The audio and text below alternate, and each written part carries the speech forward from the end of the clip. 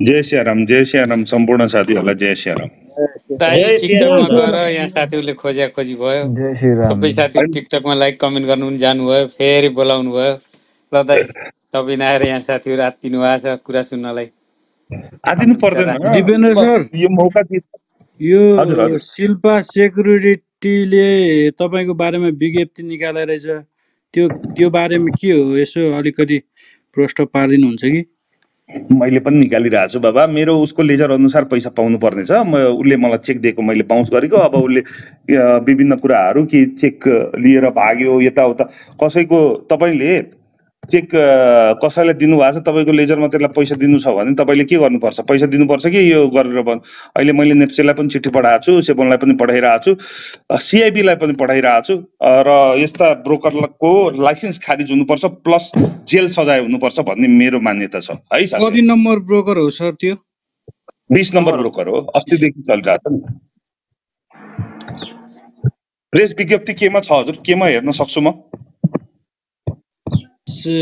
ढुङ्गाना सरले चाहिँ फेसबुकतिर नगरौँ मार्केटलाई झन् असर गर्छ भन्ने कुरो राख्नु भएको थियो। मैले त्यहीँ हेरेको थिएँ। केही छैन। यसमा के असर हुनु र? कसरी असर हुन्छ? केही असर हुन्न? यस्ता ब्रोकरहरूलाई निकाल्नुपर्छ। त्यसको लागि असर के हुनु र?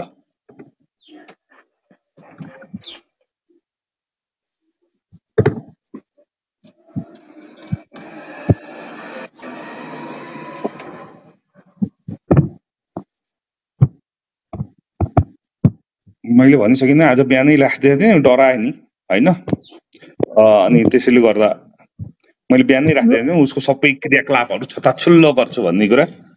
त्यसैले हजुर। मैले तपाईँको गर्नु हेर्नु। केमा हालिदिनु भएको छ सर? गर्नु मेसेन्जरमा म। हेरिहाल्छु है सर।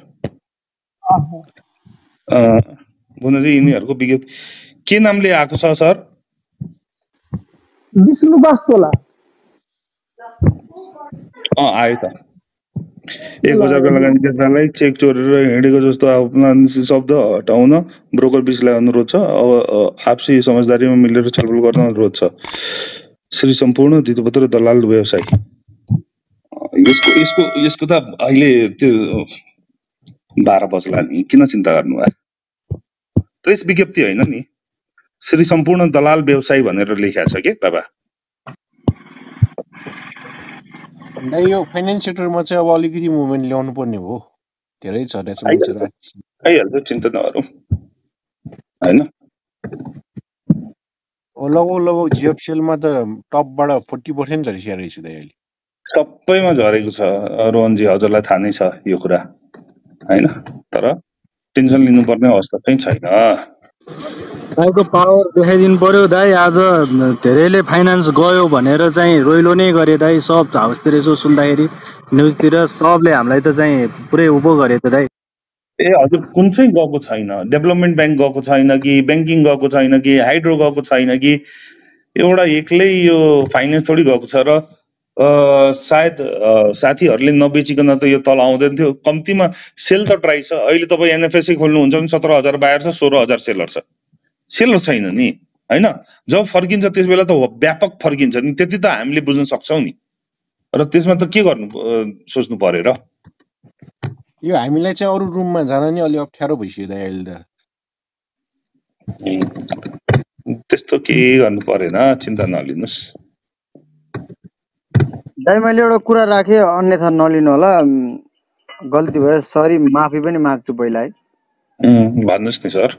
इन्डासन यो सब यो टोपी लगायो सब बेच्यो अहिले अब तल झार्यो यो नानी तलै झार्थ्यो सब निकालिसक्यो त्यही भएर उता टिकटकतिर गएर रोइलो गरेर बसिरह बिन्दास पाराले अस्सी पर्सेन्ट भन्दा माथि निकालिसक्यो भनिराखन् सर। के हो यो कुरा सर? हजुरकै मुखबाट सुन्न मन जसलाई जे बोल्नु छ बोल्न दिउँ न स्वतन्त्रता छ नि। होइन? हौ सर।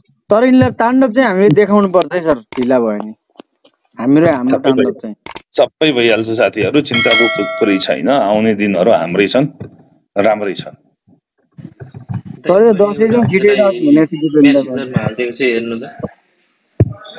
मेसेन्जरमा पेजमा? जस्ट हालेको थिएँ हजुरले अँ पेजमा त्यही सम्पूर्ण यही यही हो मैले पाएँ। Thank you thank you thank you पाएँ। पैसा नतिर्न सकेर यस्तै कामहरू गर्ने हो कि यी बदमासहरूले? कानुनले आफ्नो काम गर्छ नि ठाउँमा पुग्छन्। खोरमा पुग्ने काम गरेका छन् खोरमा पुग्छ इन्डियाको खोजमा त थाहा भएन सर मलाई। नै यो आज दुई बजेपछि चाहिँ एउटा दुइटाको फाइनेन्समा सर्किट लाग्यो भने चाहिँ ठिक हुन्छ होला सबैले साथ दियो भने कोसिस गरौँला। यो हिजो अस्ति मार्केट बढ्दा नि बढ्न सकेन नि त्यो भएको कारणले अलि गाह्रो भयो। त्यही त। फर्किन त फर्किन्छ।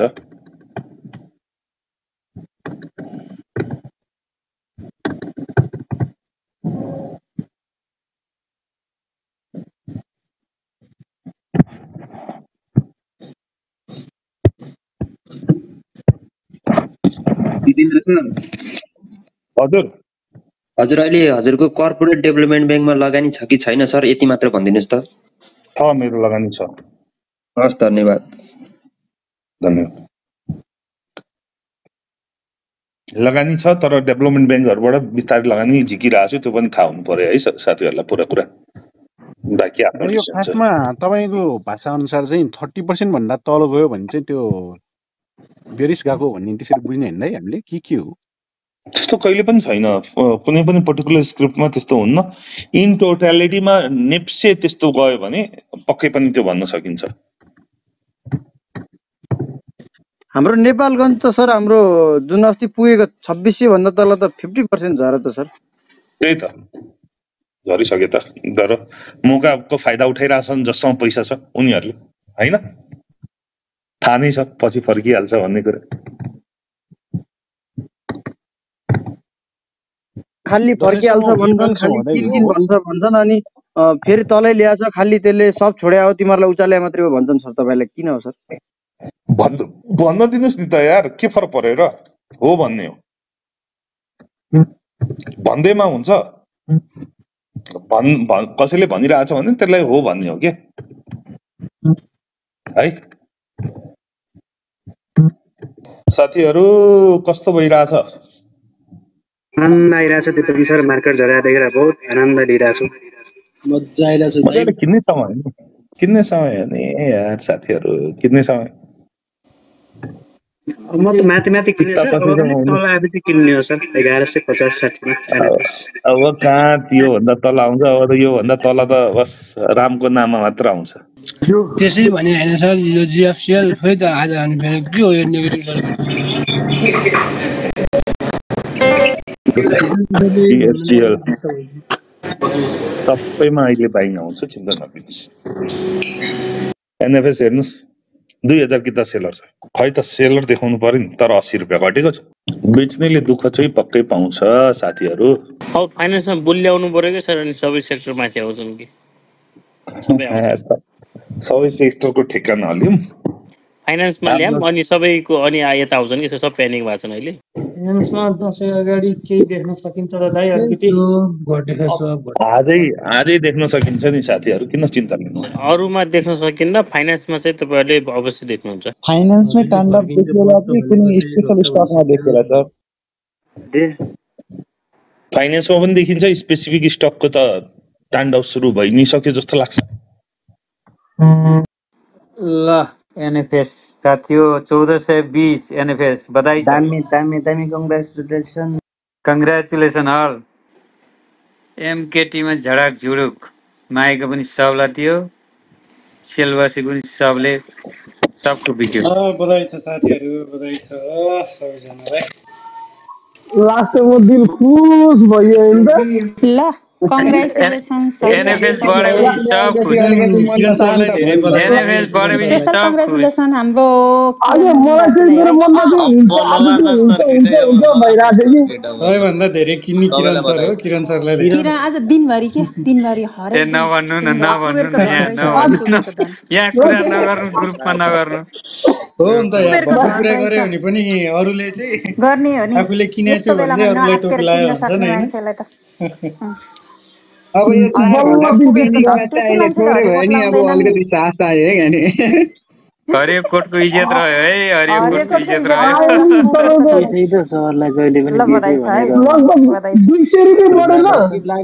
दुई सय पचास आउँछ भनेर गयो सरको त्यो सर हजुर हजुर लगभग दुई सय रुपियाँ बढेन एक मिनटमा बाह्र सय बिससम्म पुग्यो माल चौध सय बिसमा एकचोटि पाउँदा त कति भयो होला